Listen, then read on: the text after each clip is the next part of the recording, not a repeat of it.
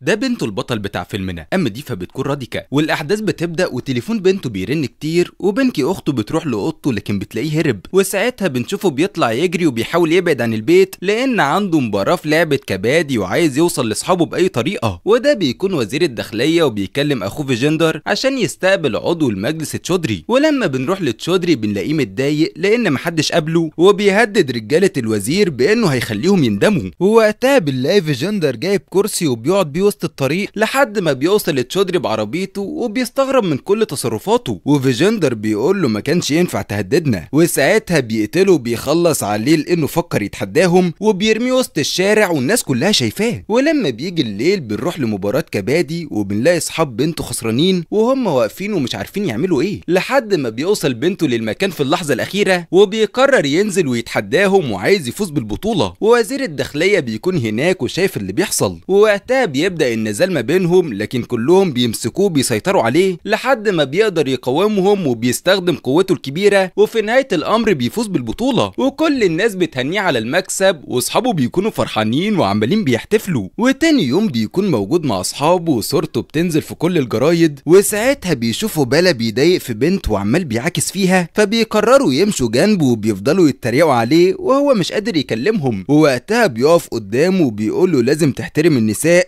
وبيخلي شكله وحش جدا قدام البنت وفي النهاية بيسيبه ويمشي. وتاني يوم بيكون في الطريق لكن بيلاقي بلا موجود قصاده وجايب شوية بلطجية عشان يضربوه ويرجع حقه. وساعتها بنته بيبدأ يتخلص منهم واحد واحد وبيستخدم مهارته القتالية وبيقضي عليهم ومحدش عارف يقف قدامه. وفي النهاية بيمسك باله وبيهينه قدام كل الناس. ولما بيرميه لبعيد بينزل للأسف على عربية الشرطة. والظابط شكلة بيبص له بكل استغراب وبنته واقف ومش عارف يعمل حاجة. ووقتها بياخده للبيت بتاعه وبنكتشف إن هو في الأساس أبوه. وبعدها بيقعدوا على الأكل وشكله بينصحه يلاقي وظيفة ويكون إنسان محترم. وبنته بيوعده بإنه هيغير من نفسه. ومع الأيام بيروح يقابل أصدقائه وبيعرف إن أخو صاحبه هيتجوز في مدينة مطورة ولازم يسافروا قريب. ومن ناحية تانية وزير الداخلية بيتكلم مع أخوه فيجندر وبيخليه يتفرج على فيديو والصحفي ماهيش بيتهمه بقتل عضو المجلس. ولما بيوصلوا المؤتمر ماهيش بيسألهم عن الجرائم اللي بيعملوها وفيجندر بيتضايق وبيعرف اسمه وعايز ينتقم والوزير بيؤمر أخوه يتخلص من الصحفي. ولما بيكون ماشي بيسمع صوت واحدة بتغني وبنكتشف إنها راديكا وبيفضل يبص لها بكل إعجاب وشكله حبها ودخلت دماغه. وبعدها واحد من رجالته اسمه كارك بيعرفه مكان المراسل وبياخده بالعربية لحد ما بيوصلوا للبيت بتاعه. وساعتها بيرنوا الجرس لكن بيتفاجئ إن راديكا بتفتح الباب وبيكون ساكت وفرحان إن هو شايفها قدامه. وبيقرر يروح للعربية بسرعة وبيسيب المكان وبيمشي. وراديكا بتقعد مع أهلها وبنكتشف إن ماهيش بيكون أخوها وبنعرف إنهم عايزين يسفروها لأمريكا لكن هي مش عايزة تسيب الهند أو تبعد عنهم. وتاني يوم راديكا بتكون في شغلها لكن بتتفاجئ إن فيجندر موجود قدامها وبيعرفها إن هو بيحبها وعايز يتجوزها. ووزير الداخلية بيكون أخوه لكن بترفض كلامه ومش عايزة ترتبط بيه. فبيتضايق وبيطلع المسدس من جيبه وبيهددها إنه مجرم ومش هتكون لحد غيره. وبالرغم من إنها خايفة ما بتهتمش بيه وبتسيبه وتمشي. وبعدها فيجندر بيروح لمهيش الجريدة بتاعته وبيطلب منه إيد أخته وعايز يتجوزها. لكن بيعترض وبيهدده يبعد عن راديكا وبيقول له قريب جدا هسجنك لأنك مجرم. وساعتها بيطرده بره المكان. وتاني يوم مهيش بيكون في الشارع وفي عربية بتخبطه وبيقع على الأرض وبيكون مصاب. وبنلاقيهم رجالة فيجندر وعايزين يموتوه وهو بيحاول يهرب منهم وللأسف مش عارف. ولما بيشوف الشرطة قدامه وبيتحمى فيهم فبنتفاجئ إن فيجندر بيظهر في المكان والظباط بينقلبوا عليه وبيهددوا حياته بالموت. وفي اللحظة دي فيجندر بيقتله وبيتخلص منه عشان فكر يتحداه ولازم يكون عبرة لكل الناس. وبعدها الظباط الفاسدين بيروحوا البيت مهيش وبيعرفوهم إن ابنهم انتحر وموت نفسه. وده بيخلي راديكا مصدومة وللأسف بيغمى عليها وبتنهار.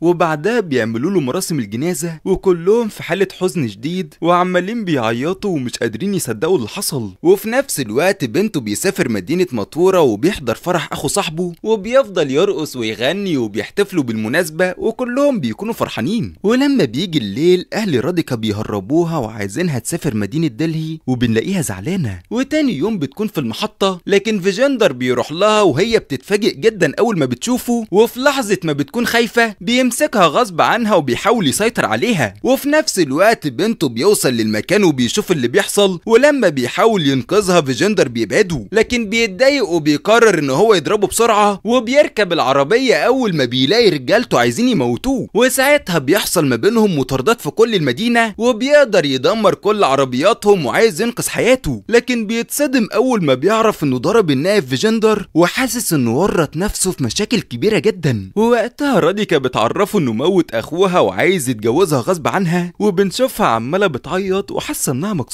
وهو بيتأثر جدا وبتصعب عليه وبيقول لها أنا شكلي ههرب معاكي. وبيقرروا ينزلوا من العربية بتاعتهم بسرعة وبيحاول يجري بيها لأنهم بيكونوا وراه وعايزين يمسكوهم. ووقتها بيقف ضدهم وبيبدأ يضرب فيهم واحد واحد وبيتخلص منهم كلهم وهدفه يحمي راديكا من إيديهم بأي شكل. وفي النهاية بيلاقي نفسه موجود فوق سطح بيت ومفيش مكان للهروب. وساعتها بيوصل فيجندر وبيكون قدامه وبنشوفه عايز يموته. وبنته متفاجئ جدا وبيقرر يوقع راديكا من فوق المبنى وبيقول لهم اللي هيقرب مني هموتها وحياتها بتكون في خطر. وفيجندر بيبص له بكل استغراب ومتضايق منه وبنته بيخليهم يخلعوا البناطيل بتاعتهم وبيهين كرامتهم وساعتها بينزل راديكا من غير إصابات. ووقتها بينط وراها لحد ما بيقدر يوصل لها بسرعة وبيهربوا من المكان. وبعدها وزير الداخلية بيوصل لموقعهم وبيهون على أخوه وبيطلب منه يلبس بنطلونه من تاني لكن بيرفض وبيقول له أنا هفضل كده لحد ما ترجعها لي. وعمال بيلوم في نفسه وحاسس بالإهانة. وفي اللحظة دي الشرطة بتقفل المدينة وبتنتشر في كل مكان وهدفها تقبض عليه في أسرع وقت. وساعتها الطريق بيكون واقف وراديكا بتشكر بنته عشان ساعدها. وهو بيقول لها تسافر معاه مدينة اغرى لحد ما تطلع جواز سفرها لأمريكا. ولما بينزلوا بيلاقوا الشرطة بتدور عليهم فبيقرر ياخدها من إيديها وبيروح يسلمها لهم بسرعة وبيفهمهم إن حبيبها موجود في العربية هناك. وفعلا بيطلعوا يجروا وبيسيبوه لوحده. ولما بيوصلوا للعربية بيكتشفوا إنه ضحك عليهم واختفى. وساعتها فيجندر بيعرف اللي حصل وبيكون متضايق جدا. وبنته بيرجع البيت وبيعرف أخته على راديكا. وبيحذرها من إن أبوه وأمه يكتشفوا إنها موجودة معاهم. وتاني يوم بنروح لمؤتمر انتخابي لوزير الداخلية وبنشوفه بيخطب في الشعب. لكن بنتفاجئ إن فيجندر بيوصل المكان بالشر بتاعه والموقف بيكون محرج. وبيقول للناس إن في واحد خطف خطيبته وبيطلب منهم يرجعوها ليه. وبيوزع صورتها عليهم وبيكون بلا موجود من ضمنهم وبيحتفظ بالصورة بتاعتها. ومن ناحية تانية بنته بنلاقيه مع راديكا وبيحاول يهون عليها لأنه شايفها زعلانة. وبياخدها المكان بعيد وبيفضلوا يرقصوا ويغنوا وبيخرجها من جو الاكتئاب اللي عايشة فيه. وبعدها بتشكر بنته علشان بيحاول يخليها سعيدة. وبيكتشف إنها نسيت جواز السفر بتاعها في البيت. فبيقول لها أنا هسافر مدينة مطورة وهجيبهولك. وهي مبسوطة لأنه مهتم جدا بيها. وتاني يوم ابوه شوكلا بيحضر اجتماع مع وزير الداخلية وفيجندر بيأمره يقبض على راديكا لانها موجودة في مدينة اغرى لكن بيعترض على أسلوبه وبيجبره يجاوب على كل أسئلته وفعلا فيجندر بيوافق على كلامه. وبعدها بنته بيروح لبيت راديكا فبيتفاجئ إن فيجندر قدامه وبيضربه بالنار وساعتها بنكتشف إنها بتحلم. فبتقرر تخرج من البيت من غير ما حد يشوفها ولما بتكون في الطريق بلا بيغرقها بالمية وبياخد باله منها كويس.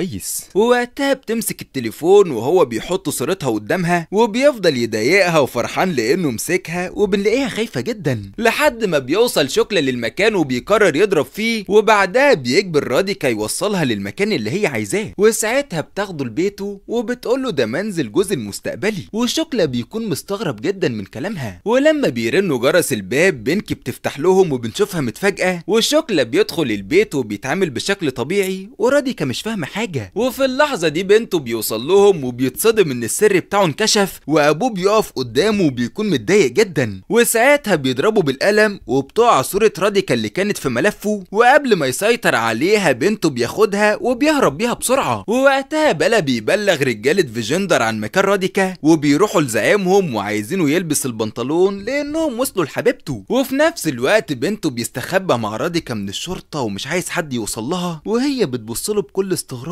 ومش قادرة تصدق إن في حد بيخاف عليها بالشكل ده. لحد ما في نهاية الأمر بيهرب. وبعدها فيجندر بيوصل لبيت بنته. وأول ما شوكلا بيفتح الباب هو بيدخل وبيفضل يدور على حبيبته وملهاش وجود. وللأسف بيشوف صورة بنته معاه وبيعرف إن هو ابنه. ولما بيهددوا شوكلا بإنهم هيموتوا عيلته بيتضايق جدا وبيتعصب عليهم وبيعرفهم محدش هيقبض على ابنه غيره وبيطردهم كلهم بره المكان. وتاني يوم بنته بيكون في العربية وبيسلم راديكا جواز السفر بتاعها لحد ما بيروحوا للمطار وبيطلب منها تخلي بالها من نفسها وتطمنوا عليه أول ما توصل. ووقتها بيودعها وبيسيب المكان وبيمشي. وهي بتبصله وعمالة بتعيط لأنها حبته ومش عايزة تبعد عنه. وساعتها بنته بيشوف الشال بتاعها وبنلاقيه ماسكه وبيكون مستغرب وبيفتكر في كل ذكرياته معاها ومشاعره اتحركت من ناحيتها. وبنلاقي الدموع موجودة في عينيه. ولما بيقرر يمشي بيلاقي راديكا رجعت له من تاني وبتعترف له إنها بتحبه وبتتمنى تكمل حياتها معاه. وساعتها بيتفاجئ من كلامها وهما الاتنين بيحضنوا بعض وبيبادلها نفس الشعور وبيكونوا فرحانين. لكن في الوقت ده بيوصل شوكلا للمكان وبيقف قدامهم وبعدها بنلاقي فيجندر داخل عليهم وعايز ياخد حبيبته. ولما بيفكر يلمسها بنته بيمنعه وبيقرر يتحداه. وساعتها أبوه بيأمر الشرطة تقبض عليه وبنشوفه عمال بيصرخ عليها وحبيبته بتعيط ومش عارفة تعمل حاجة. وبعدها فيجندر بياخدها للبيت بتاعه وبيعرفها انهم هيتجوزوا فبتقول له بنته خلعك البنطلون وما كانش يعرفني. فما بالك وهو بيحبني هيعمل فيك إيه؟ وده بيخليه متضايق جدا وبيهددها بإنه هيقتله. ولما بنروح لقسم الشرطة شوكلا بيلوم ابنه علشان ورط نفسه في المشاكل وبيستغرب ليه مش عايز يسمع كلامه. لكن في الوقت ده بيلاقوا فيجندر في المكان وهم بيكونوا مستغربين جدا وبيقطع المحضر عشان يخرجوا براءة وساعتها يقتله وبنته بيوافق يروح معاه وبيفكوا الكلبشات من ايديه وساعتها شوكلا بيقول له أنا مش قلقان على ابني أنا خايف عليك منه. وبعدها بنروح لمكان المهرجان والعربية بترمي بنته على الأرض ووقتها بيلاقي نفسه ما بين الناس ومش عارف يتصرف إزاي. لحد ما بيشوف فيجندر موجود قدامه ومعاه رجالته ولما الوزير بيحاول يمنعه للأسف بيضربه بالقلم. وده بيخليه في حالة صدمة ومتفاجئ جدا. وفيجندر بيهدد بنته بأنه هيقتله لحد ما بتوصل راديكا للمكان وهما الاتنين بيبصوا لبعض وفرحانين. ووقتها بيفضل يضرب فيه وبيخليه مش عارف يدافع عن نفسه ومسيطر عليه بشكل كامل وبعدها بيمسك السكينة وبيموته قدام كل الناس وساعتها بيرميه على الأرض بعد ما بيسيح دمه. وراديكا مش قادرة تصدق إن حبيبها بيموت قدام عينيها. وفيجندر بياخدها ويمشي وبيحاول يبعدها عنه. وفي الوقت ده بنته بيستجمع قوته وبيقوم يقف قدامهم من تاني وعايز ينتقم. وبنشوفه بيضرب فيهم ومحدش عارف يواجه قوته الكبيرة. وبيخلص عليهم واحد واحد وكل هدفه ينقذ حبيبته من ايديهم بأي طريقة لحد ما بيوصل في النهاية لفيجندر ووقتها بيندمه عشان فكر يقرب من حبيبته وهو مش عارف يحمي نفسه أو يواجه الغضب بتاعه وفي الآخر بيقضي عليه وبيرجع حقه وبيقدر ينتقم. ولما بنشوفه موجود مع راديكا بيتفاجئ إن فيجندر بيقوم من تاني وبيحاول يقتله لكن بيتضرب بالنار بسرعة وبيقع على الأرض قدامهم. وكاركي بيبلغ الوزير إنه قتل أخوه حسب أوامره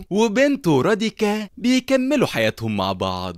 ومن هنا بيخلص فيلمنا. لو عجبك الفيديو دوس لايك واعمل اشتراك لقناتنا فيلم في حدوتة وفعل زر الجرس. واستنونا في فيلم جديد.